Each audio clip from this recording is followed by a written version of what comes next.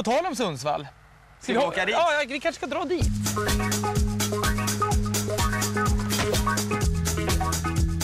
Hemma. Ja, hallå? Är det Wallis? Ja, var bor du någonstans? Jag tänkte vi skulle landa någonstans i närheten av dig. Det är nog jävligt svårt. Ja, okej. Här, vilken bakgrund! Jag blir hes. Sverige, Sverige. Står i skuggan, då syns det nämligen inte. Du får ta lika mycket sol som jag tar. Det är inget... Så här är det. Jag är inte heller skugga. Skitsamma. Vi är i Liden, några mil från din hemstad Sundsvall.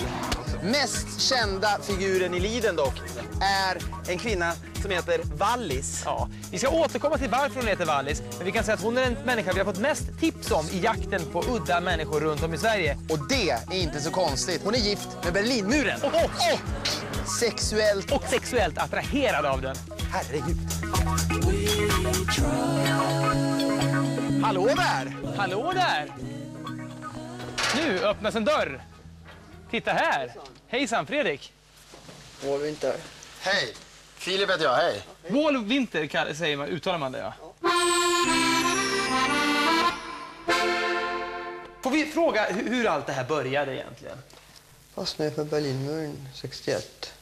Jag var sju år bara så Sen så växer du upp och så kommer du då i någon slags pubertet och man börjar upptäcka sig själv och sin kropp Ja. och, och vad man blir kort sagt kåt på och så vidare.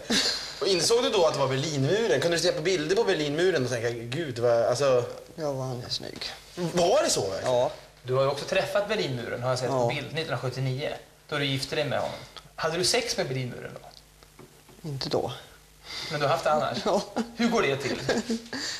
Det är classified. Är det det? Men är det typ, vet inte, som jag kan se det, om jag skulle ha det så...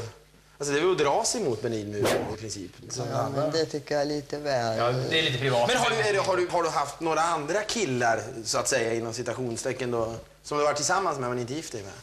Staket. Jag tycker om staket. Har du något staket här ute som du är förtjust i? Röda staketet.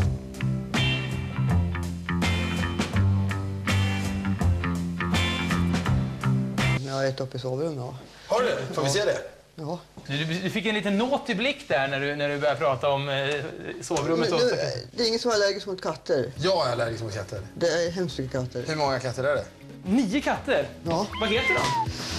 Jim, Tom, Kitty, Oda, Everest. Ja, det där är Denzel. Han är sjuk. Denzel, som i Washington. Ja. Det här har jag aldrig sett hos någon annan människa någon gång. Inte? Att man har ett staket inne i sovrummet. Sover du någon gång med staketet i sängen? Nej, han är för stor. Och när, ibland när du ligger här i sängen så drar du staketet närmare dig kanske? Eller går dit. Eller du går dit på Ja. natten? ja, där är en av murarna. Ja, det här är en, en, replika av Berlinmuren då? Ja, en modell, skala 1 till... Och då sover du bredvid den skalan då? Skalmodellen. Ja, När byggde du den här då? på 70-talet. Är den där nummer 6? Ja, du har, du har, hur många Berlinmurar har du byggt? 9. Och där har du då...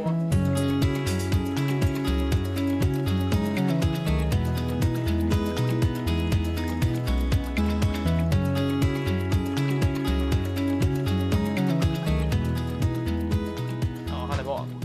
Men hur reagerade du den här dagen 1989? En hel värld jublade över att Berlinmuren faller. Inte jag. Nej. Vad kände du då? Katastrof. Jag, jag köpte den, jag köpte den här då. Runt 1980, 81. Det är inte många människor som köper vattenpass för att de gillar dem. Nej. Tror du att objekt kan bli svartsjuka på varandra?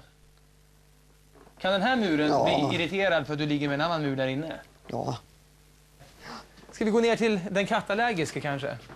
då sätter jag tillbaka den här. Du borde skära ner på rökningen, det är farligt ju.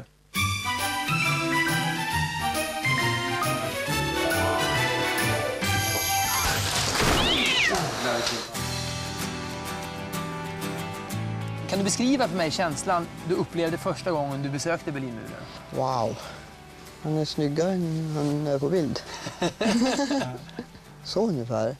En kram från mig kan aldrig betyda någonting för dig. Det är inte så förtjust i det. Vad, hur, känner- vad känner du nu?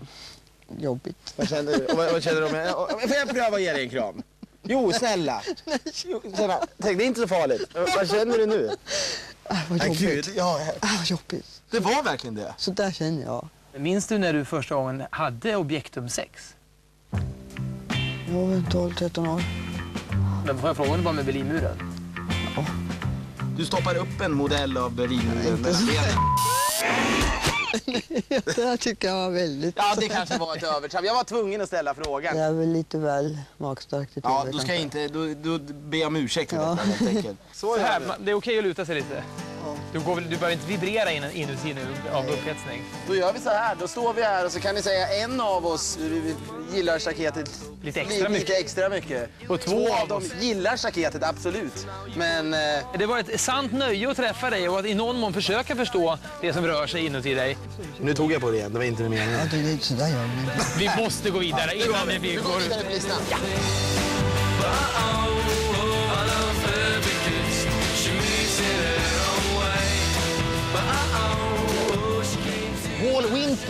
Heter hon alltså. Hon bor i Liden utanför eh, Sundsvall. Jag tycker att hon, man, man, man kan liksom så här ifrågasätta, man kan försöka rationalisera fram någon slags förklaring eh, till sig själv och så där. Ja, men så tänker hon nog. Men det funkar ju inte riktigt, så jag tycker det bästa är att bara låta Wall Winter vara och någonstans glädjas över att hon finns. Och man ska glädja sig åt att Wall Winter har hittat sin Berlinmur. Det är väldigt många människor tror jag famlar efter sin sexualitet, har ingen aning om vad de, vill, vad de vill ligga med eller hur de vill ligga med det. Men hon har ju hittat det väldigt tidigt och nu är hon ju lycklig med det. Ja, och dessutom blir världen mycket, mycket färggrannare med personer som Wall Winter jag. 40 cigg per dag.